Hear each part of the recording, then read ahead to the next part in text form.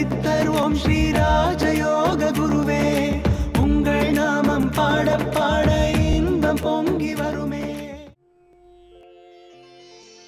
போராமை என்பது வந்து மனிதர்களா பிறந்தவங்களுக்கு வந்துட்டு எல்லா வகையிலும் பல விதமான கோபம் ஆளுகை சிரிப்பு போட்டி இவைகள்லாம் வந்துட்டு வராமல் இருக்க துக்கம் துயரம் இதெல்லாம் வந்துட்டு வாழ்க்கையில் வந்துட்டு மனிதராக பிறந்தாங்கன்னா கண்டிப்பாக இந்த மாதிரியான உணர்வுகள் உணர்வு தான் இதெல்லாம். அடிப்படை வந்து உணர்வு. கோப உணர்வு சிரிப்பு உணர்வு அப்படின்னு உணர்வு தான். மனிதன்கிட்ட இருக்கக்கூடியதே வந்து உணர்வு. உணர்வு இல்லைன்னு சொன்னால் மனிதனே இல்லை. அந்த அடிப்படையில் வந்து ஏற்படுவது வந்து தவறு கிடையாது.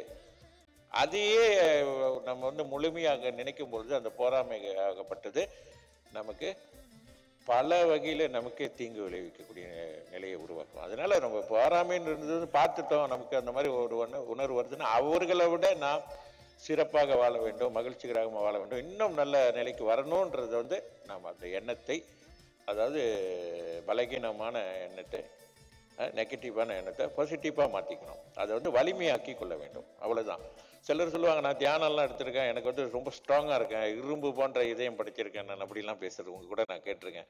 ஆனால் ஒரு வீட்டில் ஒரு சின்ன ஒரு பாதிப்பு ஒரு குடும்பத்தில் ஒரு பிள்ளைகளுக்கோ எதுக்கோ ஒரு ஒரு நோயோ எதாவது வந்துருச்சுன்னா இரும்பெல்லாம் உருகிருது அப்படியே.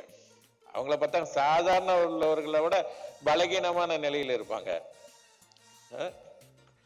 அப்படி அழுவாங்க சமாதானம் கூட படுத்த முடியாது. என்னப்பா அப்படி சொன்னேன் நான் சொன்னேன் இப்போ என்ன செய்யறது? எனக்கு முடியலையே என்னால் தாங்கிக் கொள்ள முடியலையேன்னுவாங்க அந்த மாதிரி உள்ளவர்கள்லாம் நிறைய பேர் இருக்காங்க. இன்னொன்று வந்துட்டு இந்த மாதிரி அவ்வளோதான் நம்ம தியானம் மன உறுதி எல்லாமே இருந்தாலும் சில சமயத்தில் துயரம் ஏற்படும் பொழுது துயரம்ன்று பார்க்கணும் என்ன மாதிரி துயரம்? தாங்கிக் கொள்ள முடியாத ஒரு துக்கம் துயரம் ஏற்படும் பொழுது மனம்னு சொன்னால் கண்டிப்பாக டெஃபினட்டாக வந்துட்டு மனம் வந்து பாதிக்க தான் செய்யும்.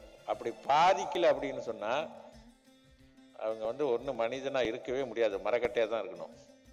அந்த நேரம் என்ன இதில் ஒரு வித்தியாசம் அப்படின்னு கேட்டிங்கன்னா யோக சக்தி பெற்றவர்கள் மன உறுதி உள்ளவர்களுக்கும் வைராக்கியம் உள்ளவர்களுக்கும் திட நம்பிக்கை உள்ளவர்களுக்கு உள்ள வித்தியாசம் என்னன்னா உடனே வந்து அவர்கள் வந்து அந்த அந்த நடந்த சம்பவம் அந்த துயரத்தை வந்து உடனடியாக அவங்களை வந்து அதை போக்கிக் கொள்ளக்கூடிய அதை வெல்லக்கூடிய ஆற்றல் அவங்ககிட்ட இருக்கு.